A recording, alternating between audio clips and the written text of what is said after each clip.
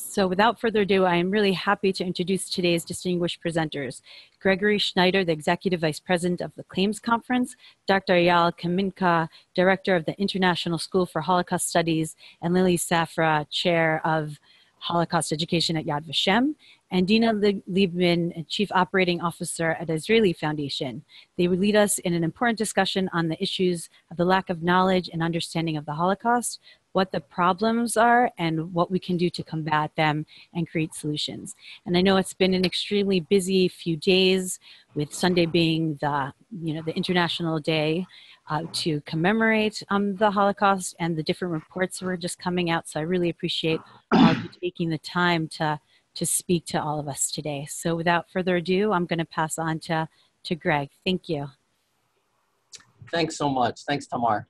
Um, I wanted to start by thanking the Jewish Funders Network um, for putting this together uh, for this session. We're really um, happy to have the opportunity to talk about the survey and the results and where we think we are in terms of Holocaust education or Holocaust knowledge um, with this latest survey in Canada, um, but really sparking off for conversation about Holocaust education uh, worldwide.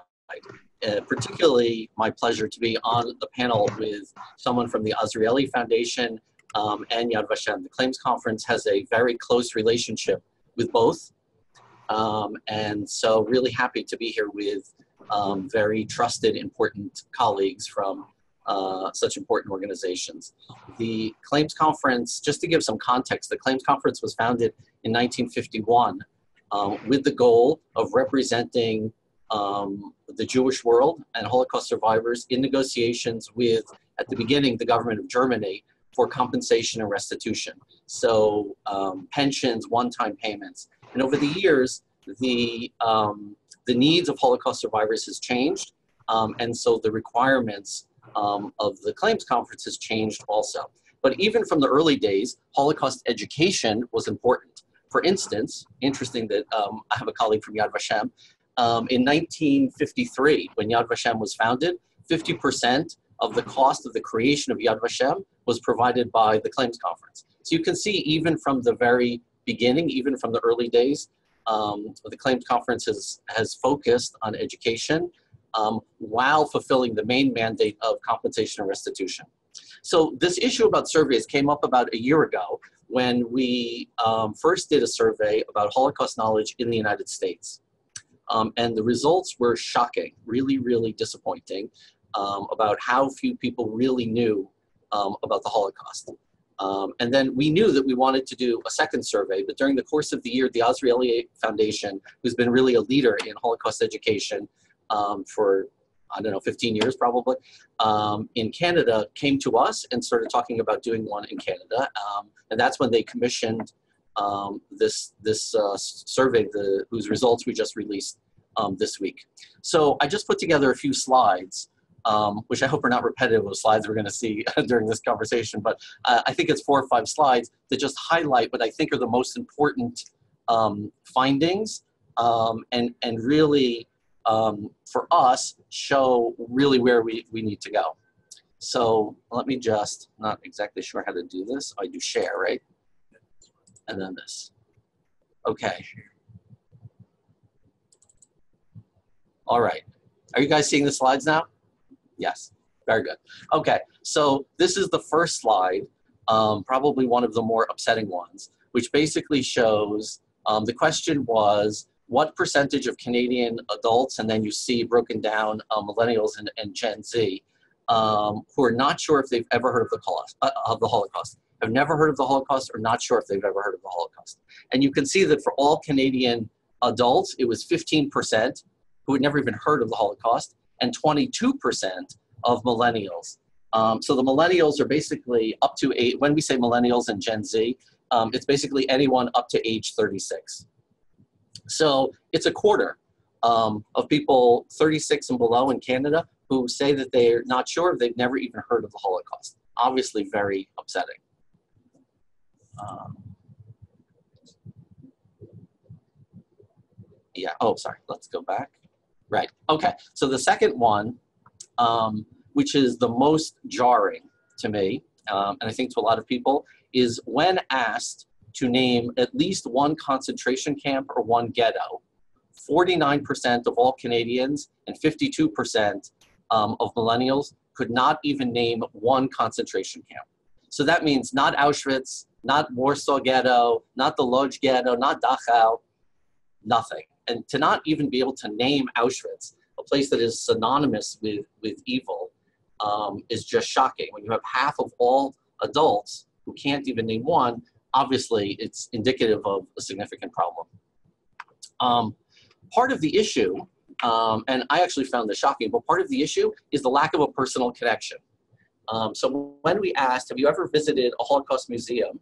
89% um, of Canadian adults had never visited a Holocaust museum.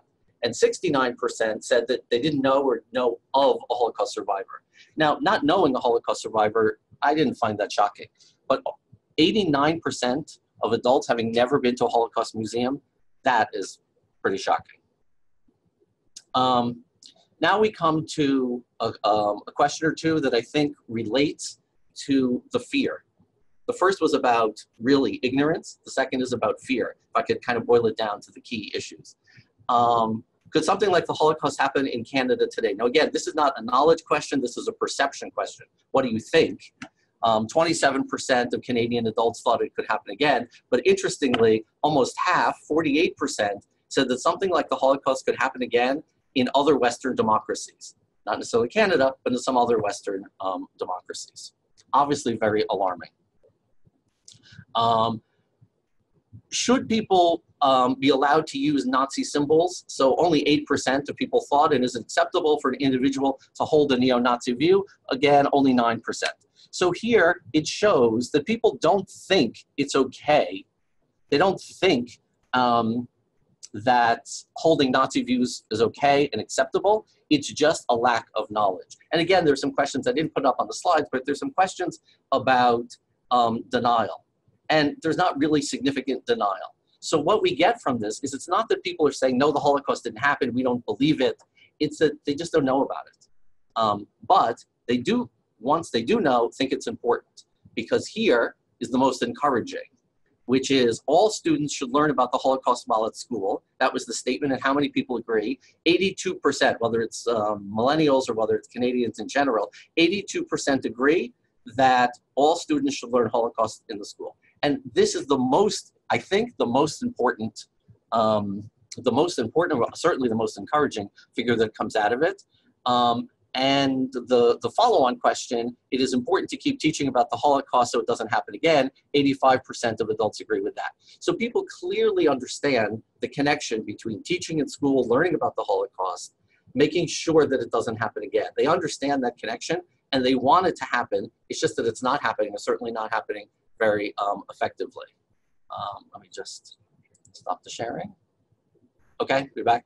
So for us, it leads us to some really basic conclusions, which um, are almost identical, although the numbers might be a little bit different. It's not as dramatic um, as the results from the survey in the US, but it's really the same conclusion, which are conclusions. One, um, there's a woeful in inadequacy in the knowledge about the Holocaust. It's just shocking and depressing um, and people really don't know about the Holocaust, its significance, and the lessons that we should be learning.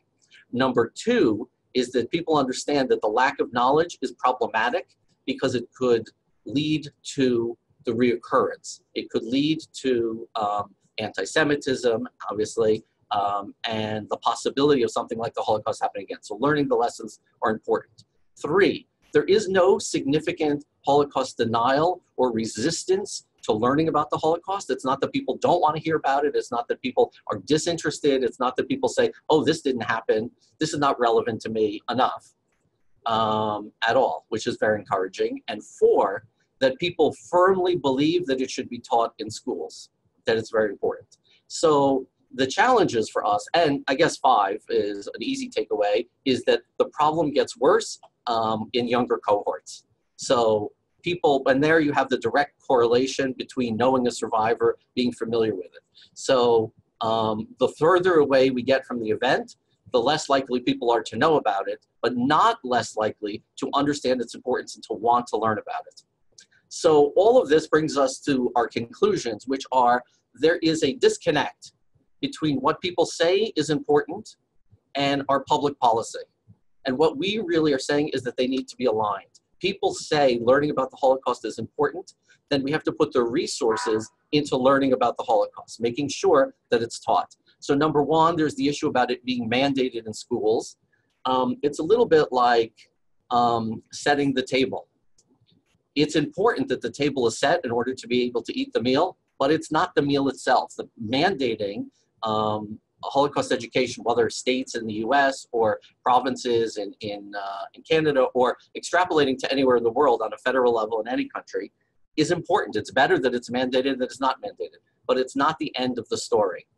The question is, what resources are being brought um, to making sure that it's being taught in, in an appropriate way? So the most important thing we think um, is teacher training, and that's where we invest a significant amount of resources, as I know the Azrieli Foundation, and I hope they're going to talk about that, um, to give teachers the tools to be able to teach appropriately. So that it's mandated is important for us. We think it's very important and should be done. That it's funded appropriately. Funding means that there should be curriculum available and materials available, but it also means the importance of teacher training because to you know parachute a teacher into a classroom to deal with an incredibly difficult, challenging topic and not to give the tools is really unfair. It's to like tie the hands of the teachers behind their backs. So um, encouraging um, teacher training seminars and workshops um, and funding them um, is very much on the agenda. And then just the last thing um, I'm going to say and hand it over to my colleague Dena from the Azrieli Foundation um, is we have to be more creative in the ways that we're telling the stories of the Holocaust because a, Holocaust survivors, unfortunately, as we know, are dying. And so in a world without survivors, what will Shoah education look like? And B, younger people, the younger you are, the more likely you are to learn in different ways, differential learning. So digital technologies, um, obviously we think movies, the Claims Conference believes movies are important, um, uh, which is why we invest in three or four movies per year. Um, but emerging technologies that we think will capture the attention of younger students um, um, we think is um, is important also, and that's why we're investing in those areas. So that's sort of a summary, um, and I'm happy to stop now. Hand it over to my colleague Dena. Um, and what we really wanted, by the way, the three of us or four of us, as we discussed this um, webinar, uh, what we really wanted to have more of a conversation, um, which is why we're all trying to limit our, our comments, because certainly I could talk for another three hours about this, but I'm going to stop now and hopefully have time at the end for some conversation amongst all the participants. Thanks. Dena?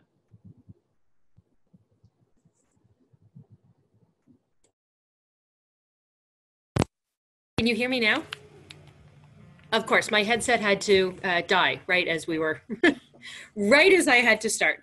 So uh, thank you very much, Greg. And I think that you've set up a lot of what I want to talk about. I think that there's overlap, but very complementary um, uh, overlap in some of the things that uh, that we're doing. So I'm going to share my slides now. Uh, you will find that there are a couple things that are that are that are duplicates. Uh, can everybody see the slides? Okay, good. All right, so let me tell you a little bit about the Azrieli Foundation. Um, because I think of the three organizations that are represented here, we might be the least known uh, outside of Canada. Um, the Azrieli Foundation, hold on, um, has a vision to remember the past, heal the present, and enhance the future of Jewish people and all humanity. And we are guided by the mission and vision that were shaped by our founder, David Azrieli, um, who was a Holocaust survivor himself. Um, we are the largest non corporate foundation in Canada, and we're both a granting and an operating foundation.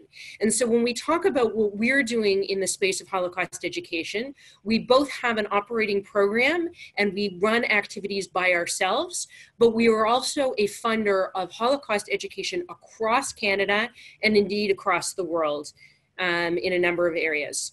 The broad theme of education runs through everything that we do, um, though it reaches from classic Jewish education to scientific research um, to Holocaust education. we are, uh, our signature pro program in Canada is the Azrieli program and series of Holocaust survivor memoirs.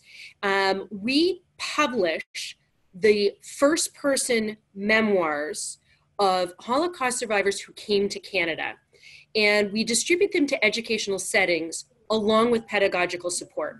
So this is a small representative samplings of books that have come out in the last three years. But at the, at currently we have 84 authors. We've published 54 books in English and 35 books in French. And in 2018, we distributed just shy of 33,000 books in Canada. And uh, since the beginning of our program, we've distributed almost a quarter of a million books um, mostly in Canada, but not exclusively. Um, the core of our educational framework has been to teach the Holocaust one story at a time.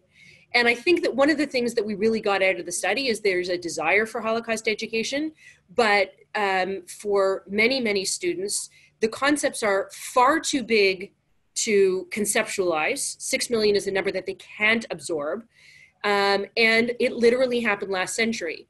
But if the, their entry point into the educational framework is reading the memoir of a Holocaust survivor, many of whom are writing about an experience when they're about the same age as the as the high school student who's reading the memoir, um, there's a personal connection which becomes the basis for other opportunities to educate around uh, the memoir.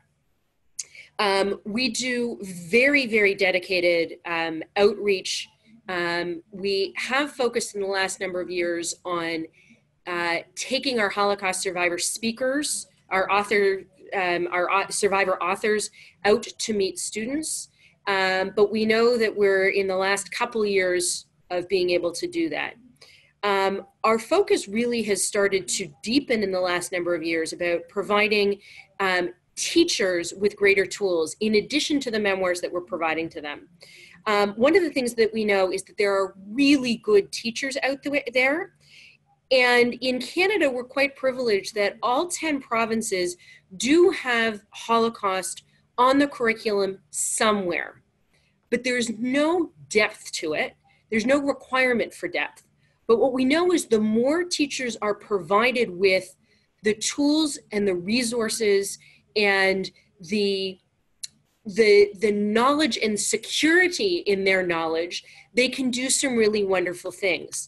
And in fact teachers who have very little knowledge with a little bit can do a lot. So we had a we had a teacher in quebec who did not know the term anti-semitism. When she learned about it she doubled down and has become a fabulous holocaust educator because she recognized her own limitation and really made sure that she was making sure that her students didn't follow her path.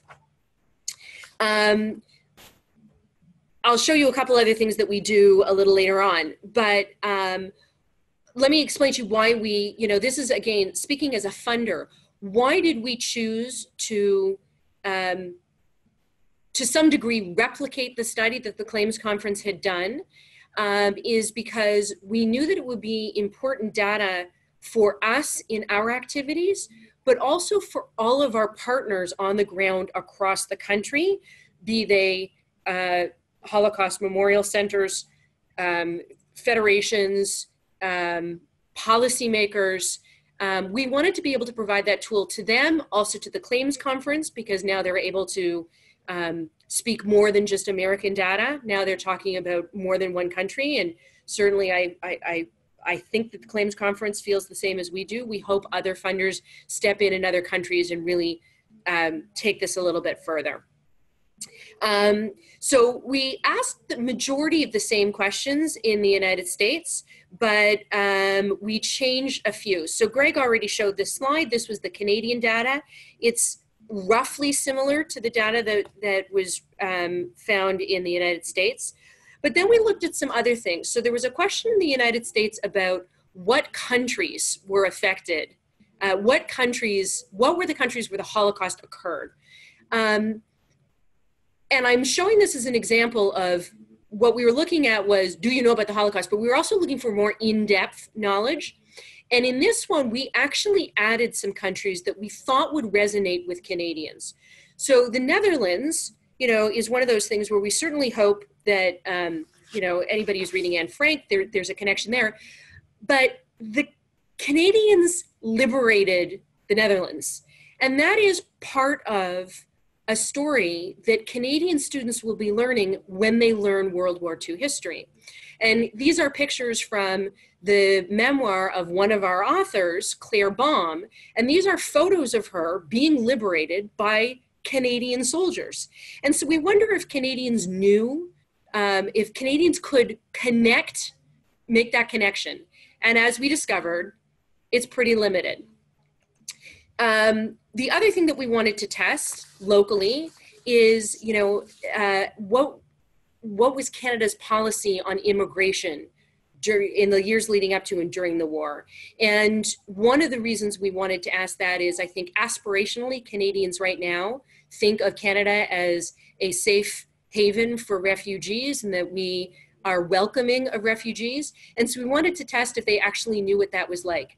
And what was interesting to us was that 19% knew that we had closed borders, which was the policy, um, infamously referred to as uh, none is too many. Um, and uh, we actually asked the question about the MS St. Louis in November. The study was done in September. In November, the Prime Minister of Canada got up in the Parliament um, to apologize for Canada's um, denial of entry for the refugees on the MS St. Louis. Um, the number of Canadians who had heard of the MS St. Louis was 13%. Uh, 68% had not heard of it. So it was lovely that he apologized. Perhaps that provided a little bit of Holocaust education in and of itself. Um, the other thing from a policy perspective that was going to be important for us is you know, certainly for our own work, that only 69% of Canadian, that 69% of Canadians do not know of, um, know or know of a Holocaust survivor. First person memoir gives them that personal connection to a survivor and their story. But 89% of Canadians have not visited a Holocaust museum. That is largely because there is not a standalone, large scale Holocaust museum in the country. And when we asked where the Canadians who said they had been to Holocaust museums had gone, it was Yad Vashem, it was the USHMM, it was um, other sites in the United States, but very, very limited in Canada. So, from a policy perspective, the Montreal Holocaust Museum, we are the lead donors on a planned um, standalone museum in Montreal. Um, and this will be um, an important tool for them to be able to speak um, to the multiple levels of government that we hope will come in and partner on that.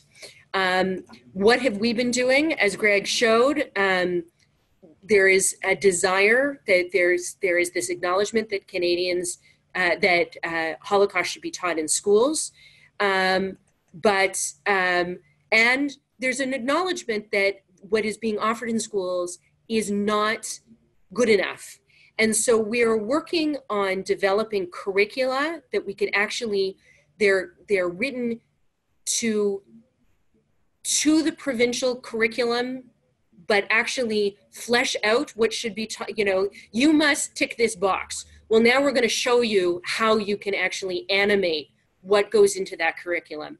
We're developing that across the country. Um, we've hired an in-house education specialist to do that. Um, we're working with international partners, including the USC Shoah Foundation, to enhance their Canadian content. Um, we're working with Yad Vashem on teacher training of Canadians, of Polish teachers, um, and more. Um, and I think the, the last thing that I'm going to say um, on this that we're also doing academic work to try and raise the level of academic um, at the university level, higher level education, interaction with the Holocaust, uh, and the use of Holocaust memoir as a tool for um, both research and for education. And so we ran um, two uh, workshops, two uh, academic workshops, one in Toronto, one in Montreal, on sexual violence and the Holocaust.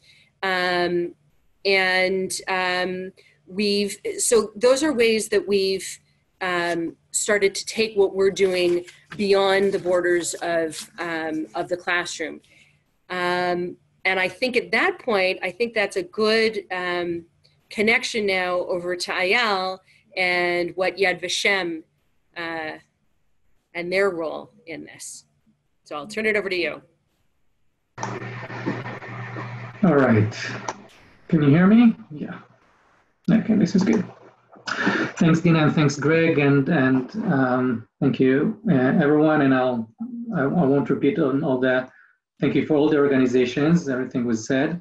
Um, I actually, Dena, um, I'm I'm starting with. Uh, I'm, I'm, very excited about this because uh, a few days ago it was the 27th of uh, January, and I held uh, a little event in my house, uh, inviting. Um, uh, Holocaust survivor who is a very um, um, far a, um, a, distant relative of my wife uh, to talk for the community and it was held in, in our, our house.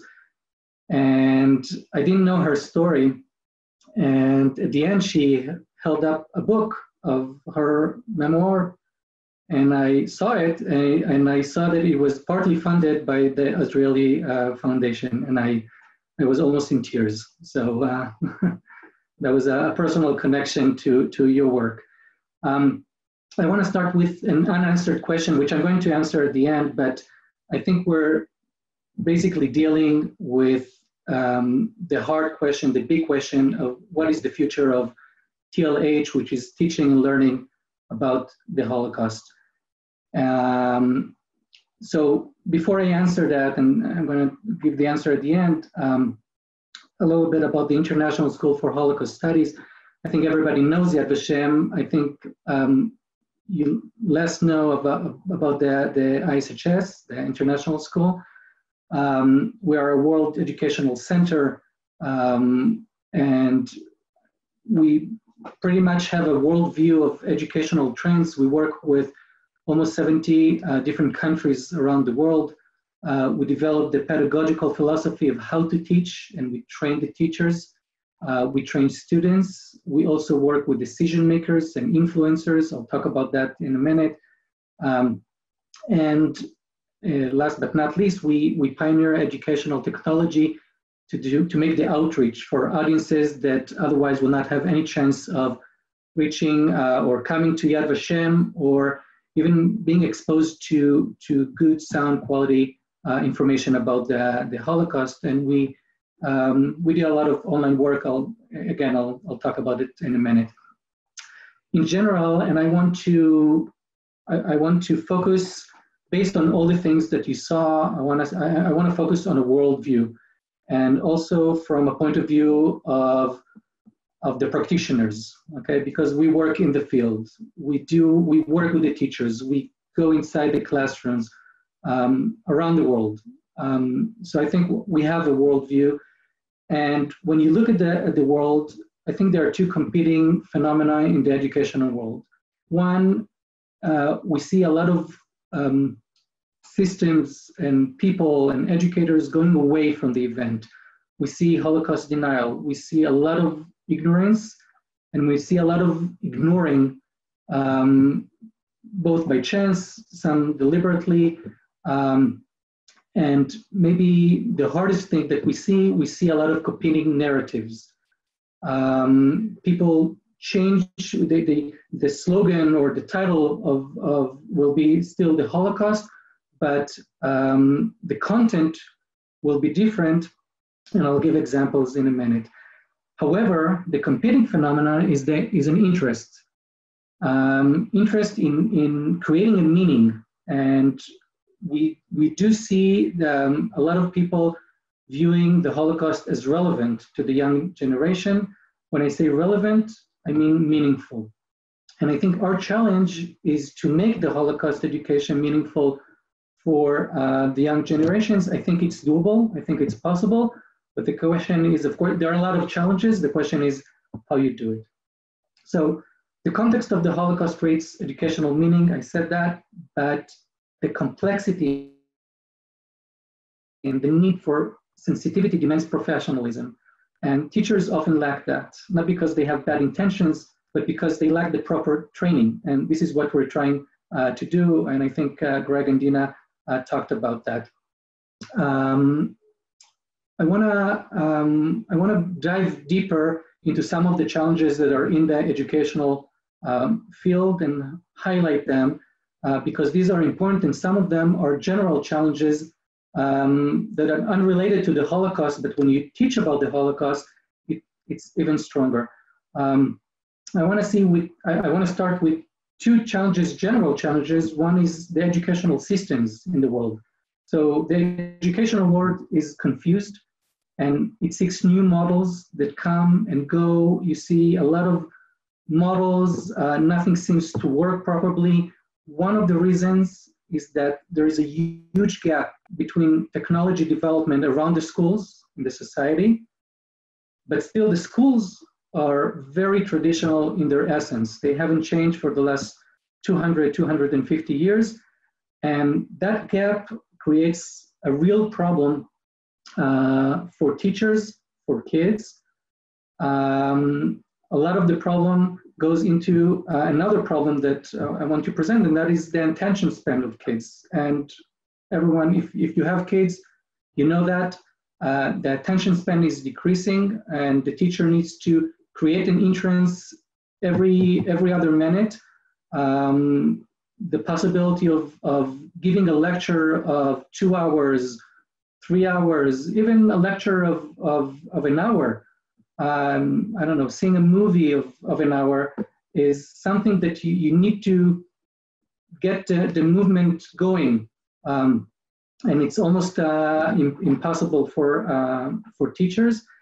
And that influences the type of materials that we need to create for, uh, for the teachers. Um, if you want to teach the, the Holocaust properly, you probably need uh, at least two days to explain you know, the basic concepts of what is the Holocaust. We don't have these two days. We don't have two hours. Now, what do you do? How do you, how do you explain what is the Holocaust in five minutes, in 10 minutes? Otherwise, the kids will not be with you. Um, it brings me to the role of information. Uh, so students seek data outside of the classroom. And this creates a huge, huge challenge because some of the, of the data that they encounter is what we create, what we um, uh, call now fake news, right? So fake, fake data, and some of it deliberately, some of it is not deliberately. Um, I'll quote you, um, um, um I wrote down a, a quote from uh, a student uh, of ours. Uh, he says, everyone knows now that there, there were no gas chambers. I saw a film about it. So Greg talked about films. Um, I, two years ago, three years ago, I talked to my son and uh, he said, well, I know uh, what Auschwitz looked like. And he never been to Auschwitz. At that time, he was um, maybe 13 years old. And I asked, and I told him, how do you know how Auschwitz looked like? And he said, well, I saw, I saw the X-Men movies. And it took me about five minutes to understand that he's talking about the X-Men, you know, the Hollywood X-Men, and he saw the evil Magneto, and the evil Magneto with his two superpowers was a Jew, and he had a number on his on his arm, and some of the scenes were were kind of in the in the spirit of of, of a concentration camp, and this is the information that he got, and this is very very alarming. So how do you create movies? How do you create content in the internet that is um, that is true to history. Okay, um, I'll give another example about Hollywood movies if we have time at the end. So another challenge: Holocaust education is not mandated in many states and countries. Uh, it's not and will never be the core of what we must learn uh, in schools. By the way, not even in Israel. Um, it's not in the core. Uh, it's very important, but uh, the meaning of that, the teachers don't have enough time to teach. We will always fight over their time. And a good example of that I can give is um, I talked to um, a few months ago. I met a Spanish teacher. Um, I met her in Italy when uh, we when we had to work in uh, um, with uh, IHRA, which is the International Holocaust Remembrance Alliance. And this uh, Spanish teacher is a, is a graduate of, of uh, Yad Vashem.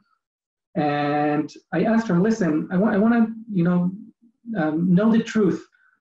How much time does uh, um, an average teacher in Spain has to, to spend on teaching about the Holocaust? And she, I mean, she took a while to, to calculate and she said, well, we have a course for 16 years old. And um, during this yearly course, we need to teach everything starting from 18 something all the way to today. So if I calculate more or less, I would, I would say about 20 minutes. And I said, what? I mean, how can you teach in 20 minutes the whole spectrum of, of the Holocaust and the, the complexity and, and everything? So again, this is very, very um, alarming. Uh, the other topic is anti-Semitism, and I think it um, it was uh, showed in the in the presentations that we just saw. Uh, we have um, um, a worldview of that. We know that anti-Semitism is growing in Europe uh, as well. I can give you facts and figures a little bit. Um, about 50% of the people in Europe think that anti-Semitism is a problem, and more than a third think it's getting worse. Um, we get a lot of quotes from uh, from students. The Holocaust was Jews' punishment for killing Christ. This is actually a quote from a student in the USA.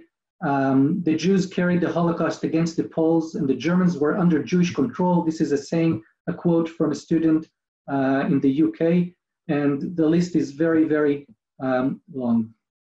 However, by the way, almost 70% of Europeans, and this is a survey that was released just, I think, a month ago uh, from the European um, uh, Council. Uh, about 70% say that they are not informed about Jews and their customs and their habits, that they don't know anything about the Jews, and still there is a rising anti Semitism. Um, however, four of 10 think that the Holocaust is only four of 10 think that the Holocaust is sufficiently uh, taught in schools. This is a bad sign, of course, because it's not sufficiently taught in schools. However, it's a good sign because we have something to rely on. Enough people think and feel, and this is aligned with the Azrieli and the claims uh, uh, survey, that enough people feel that they need more, and it's not sufficiently done, and we want more, and it's important to do some uh, to do uh, more. So um, I can talk more and more uh, also about the trends and what is considered to be relevant in in education um, as I said, um, the fight over narrative is very strong and it's getting stronger. For example, why to teach about the Holocaust? We have other genocides. Or why to teach about the Holocaust because it's not relevant because it happened a long time ago. Um, I can tell you that in some countries, and I can, I can give you a shocking example, in Poland, for example, in uh, Poland with the new law and everything and everything that is happening in, in, in that country, um, two years ago, I sent someone uh, there just to, to get a feel of, of, of, you know, of the narrative. And um, we participated in a course of IPN, that's the, uh, the national, Polish national uh, organization that, that is responsible for, um, for the narrative, uh, the national narrative. And they were talking about three Holocausts, actually, not one, but three Holocausts. One Holocaust that happened to the Poles by the Germans, one, one Holocaust that happened to the Poles by the, the Russians, and one Holocaust that happened to the Poles by the Ukraine. And um, when someone asked, you know, what about the Jews? Uh, the answer was, well, the Jews are part of Poland, so it's not, they're not a separate uh, item. They're not a separate story in that, um, in, in, in, that piece of history. This is very, very uh, alarming. So we have other challenges, uh, world without survivors, etc. These are things uh, um, we talked about that, but uh, just to list a few of the answers, a few of the solutions that we're doing, and I think Greg and Dena started to talk about that. Um, we need age-appropriate materials, and I would say culture-appropriate materials. Uh, so we need to be very exact in the materials that we're that we're producing and adapt them to every culture that we work in. I think a good example is, uh, is uh, for example, a program that we have in the United States uh, together with uh, partners, the Shoah Foundation's ADL. Uh, it's called Echoes and Reflections. Some of you know that, and even some of you maybe support that. Um, this, is, this is a program for the public schools in the USA. Um, we have German materials in Germany, um, different focuses for different groups. Um, so we can give again a lot of exciting ex examples about that. The other, of course, is the teachers training. As I said, teachers lack the proper training. And even if we have teachers that want to teach about the Holocaust, they need guidance. And this is something very, very extremely important. And we can do that in the, in the different cultures. We need a variety of activities. Um, a project that we did in Chicago, for example, uh, a very exciting project partnering with the local Jewish schools and we got students, we trained students, we trained survivors on how to tell their stories, and we trained teachers on how to teach. And then we got everything and everyone together uh, just to meet um, to to tell the stories. But it's more, it was more than tell the story. It was to create social uh, a mini social network between students and uh, and their local survivors. Um, and, it, and it, it, was a very very exciting um, uh, project. Um, this week uh, in Israel, we held a musical evening, um, making um, an educational process with the students, having them um, um, um, perform with, uh, with songs that survivors gave them.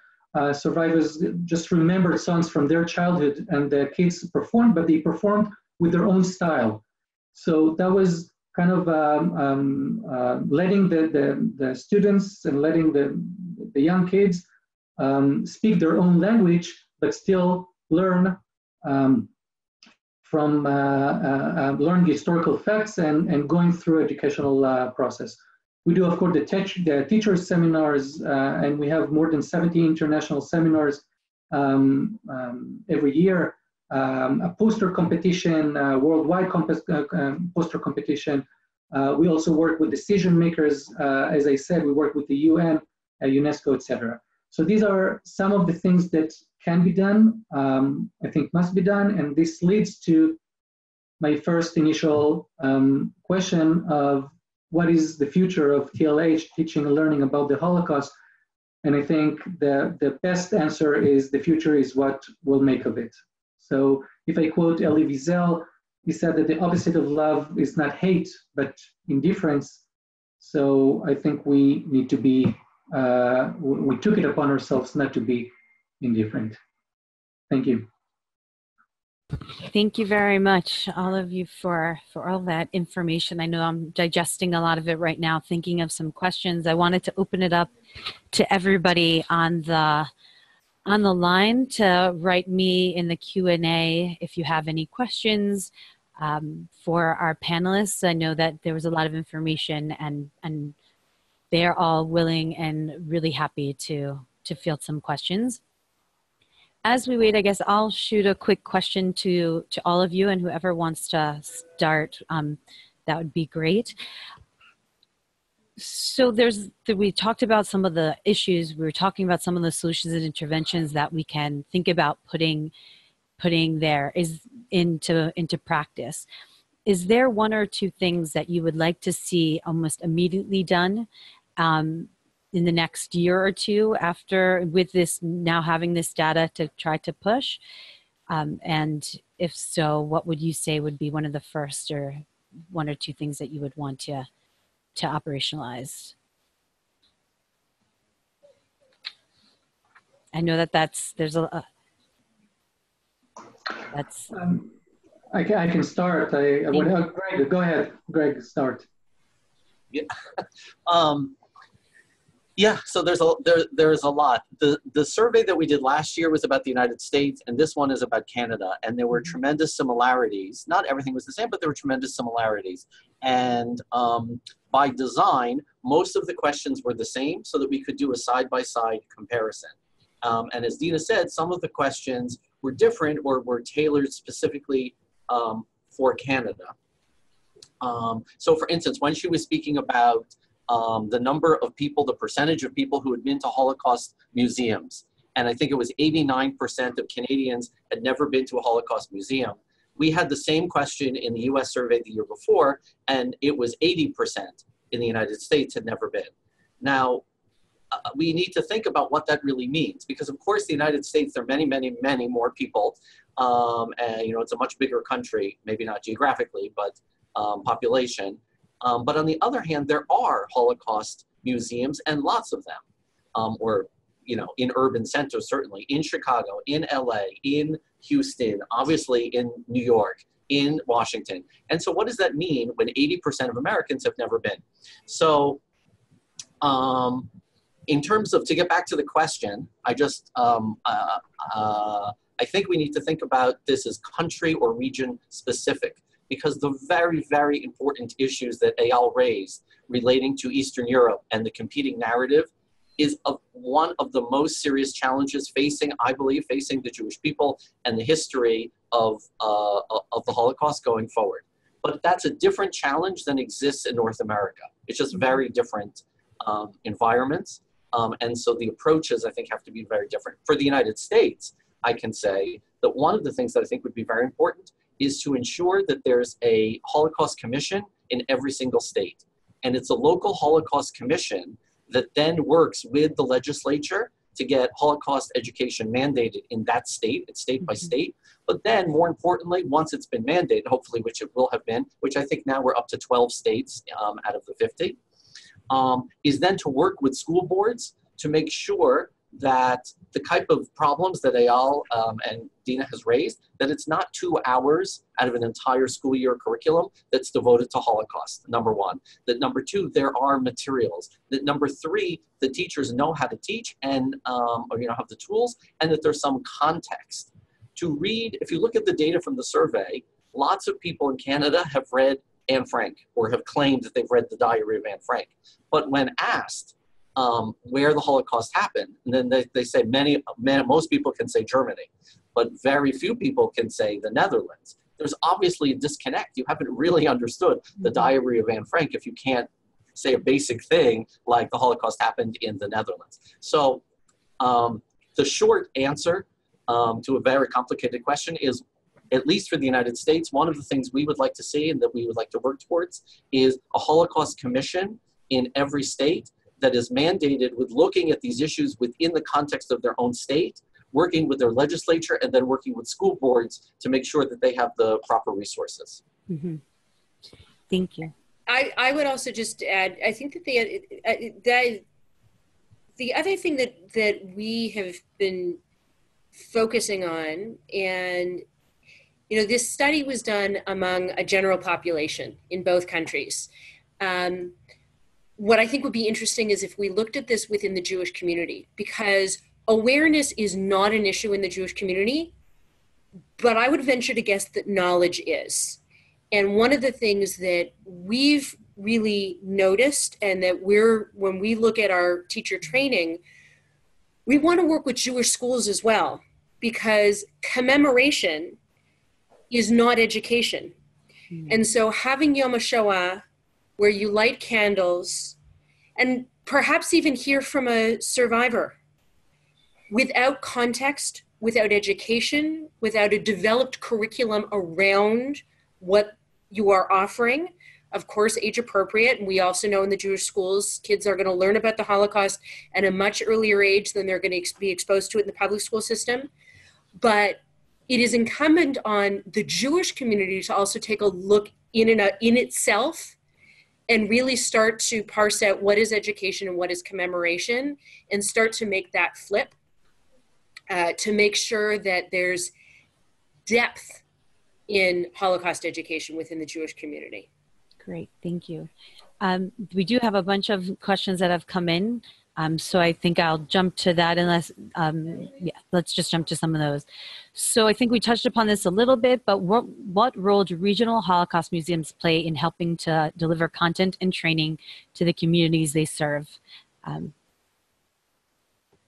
I, I don't know if Eyal, you want to talk from a Yad Vashem perspective. I know that you're in Israel, so so maybe Greg or Dena would want to tackle that.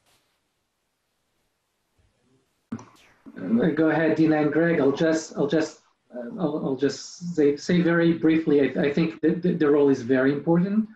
Um, so Yad Vashem has a global perspective, and we work wherever, and also the the the, the feeling of responsibility is global, but the local. Uh, we always try to partner with local partners. Mm-hmm. And the local partners, uh, local museums, organizations, etc., uh, they have the best knowledge of what is going on in their own um, um, community, uh, in their backyard, and I think their role is very important. We actually uh, a lot of uh, um, museum leaders and directors and organizations from Berlin because they had a problem of not enough people visited them uh, and they wanted to get our guidance of how to how to make it happen and also to collaborate on joint pro projects in order to get more people to their um, um, uh, to their facilities. Uh, I think this is uh, this is um, again very very important. Uh, the question is how you do it and uh, what materials, etc. Mm -hmm. I would say that one of the things that I that I think is important, and it's something that we've been really focusing on on the the when we go out into regional communities with Holocaust survivors, it, again it comes down to teacher training. So, what resources are you providing to the teachers in the classrooms who are coming into your museum? Are there requirements that you're setting ahead of time so those students come in, into the museum with an understanding and some context, either beforehand or an expectation of some curriculum afterwards. So the visit to the museum isn't just in isolation mm-hmm. to tick a box that says, okay, we've gone to the museum, but rather part of a larger educational framework about educating about the Holocaust. Sure. Okay. Um, just in the in the interest of time, I'll just jump to the next question. I know we can yeah, we can spend a lot of time on each of them. What are your thoughts on Holocaust education for the younger generation? So, young kids, preteens, and how how to best start with that. Okay, so um, as a, as a practitioner, uh, I would say it's a very good, excellent question, and it's very much influenced by the culture. Um, so in order to answer it, I will need to know in what country and what is the context. Um, I'll give an example. In Israel, for example, we must start at a very early age to provide materials that are age appropriate. Uh, not necessarily because I want it as, as a father or as an educator, but because the, the public sphere demands it because there's no escape. The public sphere is that there's a, a, great awareness of the Holocaust uh, from age zero. Um, so in order to to to um, to have the teachers um, uh, be meaningful to the kids, uh, starting from kindergartens, they need to have appropriate tools. So we we came out with a spiral program, age appropriate, and we actually toned down a lot of the things that we saw happening in Israel providing age-appropriate tools for, for uh, teachers. Don't talk about the gas chambers. Don't talk about the awful things in kindergarten, in, in, in, you know, until age 15 or 16, some of the teachers did that. But that is the specific context of, of uh, Israel. In the United States, you have a context of the Jewish communities versus the, the public, um, the public sphere, the, the non-Jews. Um, and, the, and, the, and the answer would be different. Um, to, the, to, to these uh, different sectors. Sure. Thank you. Do you have a, any quick thought about how about in America and Canada and the difference of like what age would be appropriate and what kind of content?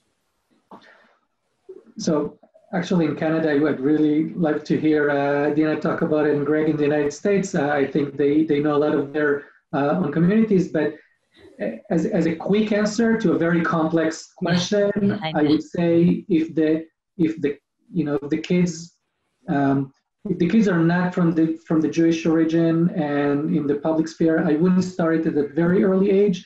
Um, the understanding of a very complex um, um piece of history uh, and you want to, if you wanted to be true to to that um, um, to that era, I would start in a in a, um, a later age at around the teen um, when they're um, um, 13, 14, 15, depends what schools, if it's private schools, public schools, it, depends a lot on the on the on the kids themselves. Uh, in the Jewish communities, I think the, the answer is different. Uh, it's part of the, you have different questions about identity and about collective memory that you need to address. Mm-hmm. Thank you. Okay, in the interest of time, I guess I'll sh- just jump to the to the, our last question that we're going to take this afternoon. Is um, they're curious to hear how the panelists think about measuring and evaluating the impact of their work, either on teacher knowledge or more importantly on students' attitude and behavior. Or zooming out, where do you see compelling evidence of impact in the field of in the field of Holocaust education more broadly? And I know this is a big question for three minutes that we have, um, but but maybe we'll go a few extra minutes if you, people will indulge us and if and if and if you have a, a, a short answer for a tough question i know it's a hard one to end with. I'll, I'll just jump in quickly. It's one of the things that is um, probably the biggest challenge for us i think um, and we're, we're spending a considerable amount of time. So in terms of evaluation um, and measuring impact um, we build into the application, if anybody wants to apply to us for a grant, built into the application from the beginning is a requirement of, a, of an evaluative tool. Um, but that's a self-evaluation. So the, the, the recipient, the beneficiary, has to build in some sort of self-evaluation, like the teachers have to fill out surveys at the end of the um, course, etc. There's not a tremendous amount of empirical um, um data about effective, what makes effective teacher training programs. And so we're spending a lot of time on it. There is some data out of the UK. Um, and so we're trying to leverage some of that. But it's one of the things that we'll probably be talking about significantly over the coming years is uh, data, empirical data on looking at what are the most effective forms of teacher training. Thank you. Okay. Um, any last thoughts that anybody wanted to share before I close? I, I, just want to share one quick thing. I, I, saw that there had been a question about technology, and so I would just invite everybody um, who's interested that one of the things that we've done as an educational resource is that we created a digital media platform. It's an online tool that allows um, students of high school all the way through through uh, higher education to engage with um, Holocaust education online through the lens of memoir, through our stories. Um, but one of the ways that it's one of the one of the resources to teachers of that is that um, they can use it in a classroom where students register and teachers can actually monitor how students are using the tool and um, and and use it as a classroom tool more than just going to a website. It's highly curated. It's it's very developed but also teachers can give assignments that are very closely linked to it.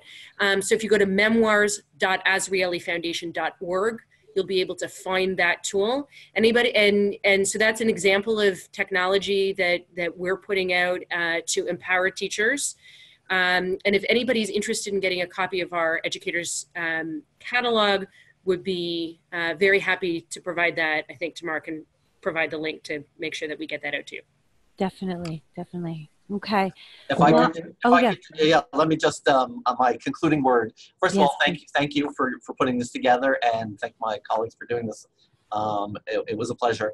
Um, I one of the things Dena and I had discussed before, but we didn't really get a chance, is to is to not let. I think Dena was actually used the words not ever let the opportunity go by without speaking about welfare needs for survivors. So we just want to say both the Azrieli Foundation, of course, the Claims Conference is spending the bulk of our money on welfare needs. And if any funder is interested in providing funding for welfare, um, we're more than happy to talk about that.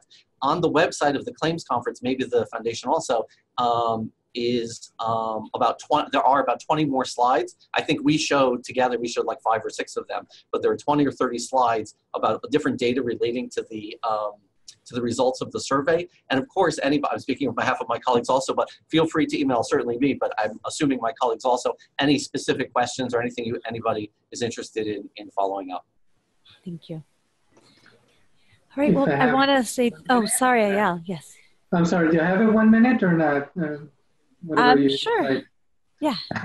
So I ju- I'll, ju- I'll just refer the audience to the question, to the answer that I, I wrote. I, uh, there was a question about technology. Yes. and we, again we don't have time but um, but there are um, a lot of activities like the MOOC courses and the video toolbox and and the social media which we, we use and this is a hard and challenging platform to use but we still if you're not there you're not you you don't exist so how do you use that for for education these are the things that uh, we do and I'll, I'll be happy to elaborate uh, uh, to anyone um, you can approach me privately Thank you. And I will send out an email and the next day or so I'll put together some of these resources and I will send it to all the participants.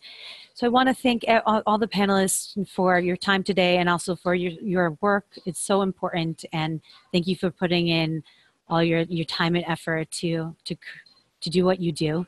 Um, I really appreciate that personally and, and professionally. So thank you so much. And thank you for all the, um, thank you for all the participants for for logging on and being part of this and learning with us today. And that's what makes our community happen. So thank you all.